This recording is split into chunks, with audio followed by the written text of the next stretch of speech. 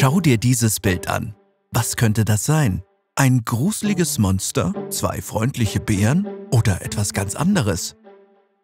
Fast ein Jahrhundert lang wurden zehn Tintenkleckse wie diese als beinahe mystischer Persönlichkeitstest genutzt.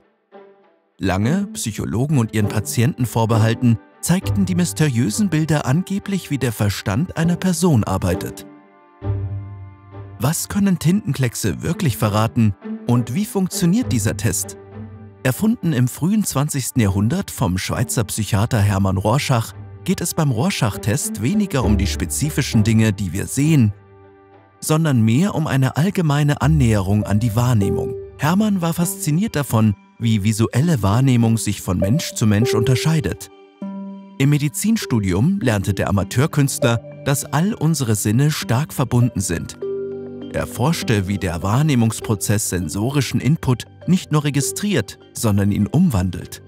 Als er begann, in einer Nervenklinik in der Ostschweiz zu arbeiten, begann er verwirrende Bilder zu entwerfen, um neue Einblicke in diesen rätselhaften Prozess zu gewinnen. Mithilfe seiner Tintenklecksbilder stellte Rorschach Hunderten von gesunden Testpersonen und psychiatrischen Patienten dieselbe Frage. Was könnte das sein? Jedoch war nicht wichtig, was die Probanden sahen, sondern wie sie die Aufgabe angingen. Auf welche Teile des Bildes fokussierten sie sich und bewegten sich diese, welche ignorierten sie? Half ihnen die Farbe mancher Kleckse bessere Antworten zu geben? Oder lenkte dies sie ab und überwältigte sie? Er entwickelte ein System, um die Antworten der Leute zu kodieren und die Anzahl möglicher Interpretationen auf ein überschaubares Maß zu reduzieren. Nun besaß er empirische Methoden, um Testpersonen zu quantifizieren. Kreative und einflussreiche, detailorientierte, die, die das große Ganze sahen und flexible Teilnehmer, die ihre Herangehensweise anpassten. Einige Leute blieben stecken und gaben dieselbe Antwort für verschiedene Kleckse. Andere lieferten ungewöhnliche und lustige Beschreibungen. Einige Tintenkleckse waren leichter zu interpretieren als andere und boten in ihrer Vielseitigkeit verschiedene Arten von Wahrnehmungsproblemen dar. Die Herangehensweise der Testpersonen zu analysieren ermöglichte wahre Einblicke in deren Psychologie. Als der Rorschach-Test immer häufiger angewendet wurde, häuften sich Muster. Gesunde Testpersonen mit denselben Persönlichkeiten nutzten ähnliche Herangehensweisen. Patienten, die an derselben psychischen Krankheit litten, verhielten sich ebenfalls ähnlich, sodass der Test zu einem zuverlässigen Diagnoseinstrument wurde. Er ermöglichte sogar die Diagnose von Krankheiten, die anderweitig schwer feststellbar waren. 1921 veröffentlichte Rorschach sein Kodierungssystem zusammen mit den zehn Klecksen, die das differenzierteste Bild der menschlichen Wahrnehmung lieferten. In den nächsten Jahrzehnten wurde der Test in Ländern auf der ganzen Welt extrem populär. Bis in die 1960er war er offiziell mehrere Millionen Mal allein in den USA angewendet worden. Unglücklicherweise starb Hermann Rorschach weniger als ein Jahr nach der Veröffentlichung des Tests.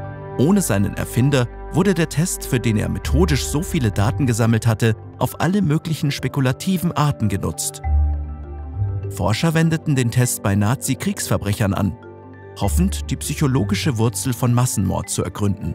Anthropologen präsentierten die Bilder abgeschieden lebenden Völkern als universellen Persönlichkeitstest.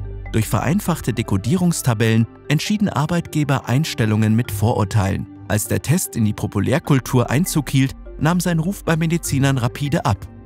Und die Kleckse begannen aus der klinischen Praxis zu verschwinden. Heute ist der Test immer noch umstritten und viele Leute glauben, er sei widerlegt worden.